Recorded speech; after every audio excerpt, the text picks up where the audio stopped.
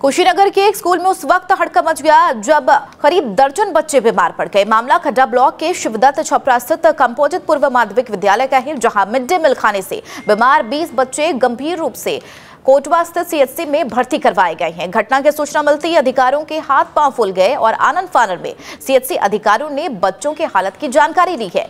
CMO ने बताया कि इलाज के बाद सभी बच्चे खतरे से बाहर बताए जा रहे हैं। जिससे हमको सूचना प्राप्त हुई है यहाँ पे कुछ बच्चे यहाँ पे दल, कुछ स्कूल माध्यमिक विद्यालय था, वहाँ पे एमडीएम से कुछ बच्चों को फ़ूड पॉइजनिंग हुई थी। तो यहाँ पे अभी सत्रह बच्चे हमारे पास हैं, जिसमें से कुछ बच्चे सीरियस में हैं तो उनको हम मैनेजमेंट कर रहे हैं, ट्रीटमेंट चल रहा है बच्चों को।